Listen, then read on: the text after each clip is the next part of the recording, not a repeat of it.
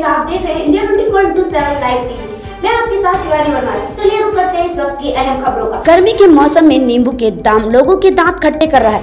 लेकिन एक गिलास नींबू पानी का मामला थाने पहुँच जाएगा, ये सुनने में आपको हैरान कर देगा। ये आपको बता दें कि एक मामला हिमाचल प्रदेश के सोनल से सामने आया है, जहाँ महँगे नींबू पानी को लेकर पहले ऑनलाइन शिकायत हुई, फिर मामला थाने पहुँच गया।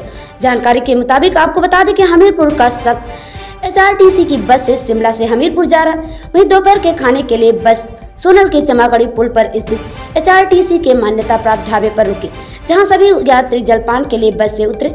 शख्स भी वहाँ नींबू पानी और खाना खाने के लिए बस से उतरा।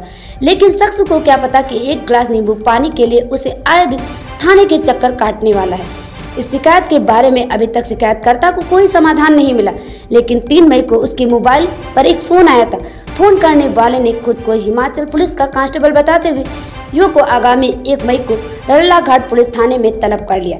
पुलिस वाले ने बताया कि उसके खिलाफ ढाबा मालिक ने बदतमीजी करने के आरोप में एफआईआर दर्ज कराई है। ये वही ढाबा वाला है जिसकी शिकायत युवक ने हेल्पलाइन नंबर पर की थी। आपको बता दें कि एक मई को दोनों पक्षों को तलब किया। वहीं इस मामले की पुष्टि करते हुए अड़ल्ला घाट पुलिस थाने की एसएचओ जी सिंह ने बताया कि चमाकड़ी पुल के रहने वाले ढाबे के मालिक महेंद्र सिंह ने हमीरपुर के शख्स के खिलाफ शिकायत की थी और उसे ढाबे पर आकर उसके साथ दुर्व्यवहार किया था।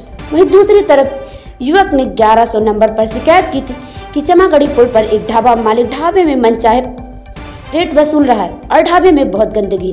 मैं आपको बता दें कि थाना प्रभारी ने बताया कि इस मामले में दोनों को एक मई को थाने में बुलाया गया था। दोनों से पूछताछ के बाद आगे की कार्यवाही की जाएगी।